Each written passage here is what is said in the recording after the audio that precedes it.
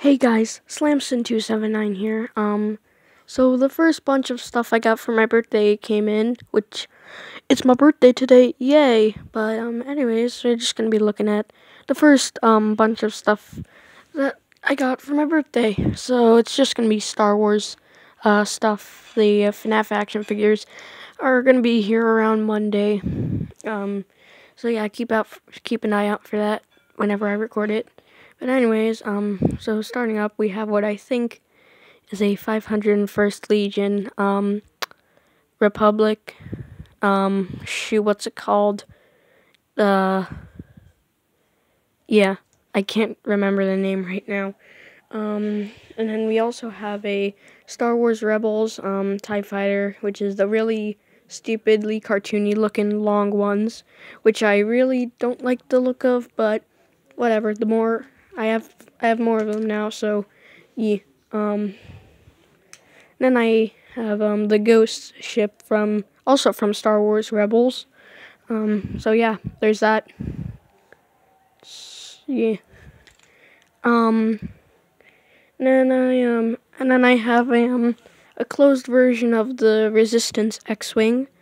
Um, because I had the open one, which is um kind of starting to like break apart a little bit like the like the um the wing bits are starting to disconnect from the engine bits. It's like moving downwards and I want to fix it sometime. But yeah I have this one now.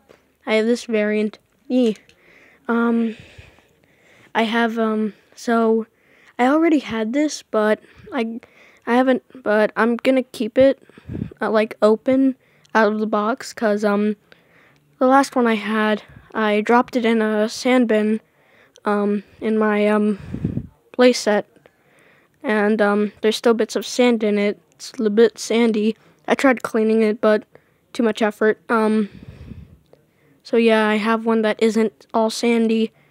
Um yeah. And then we have Poe Dameron's X-Wing which I wanted for like two years now and I finally got it um, so yeah. I you don't know how many Walmarts I went to in 2018 looking for this thing. Now I finally have it.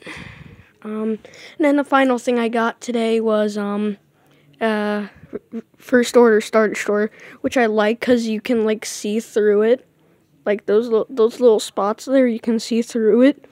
Um, so yeah, I really like this one.